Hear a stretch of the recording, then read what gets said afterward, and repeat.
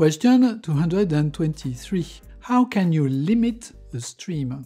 Short answer, there is a method for that. Less short answer, technically speaking, you are not really limiting a stream. What you're saying is that once that stream process the given demand of object, it should stop. And you need to be careful because at each stage, what you get is a new stream object. If what you need is to skip the first two elements and the last two elements, then if you write the following code, what you get is not what you expect, because you forgot that the stream on which you call limit consumes only 4 elements, not 6. So the correct code is this one.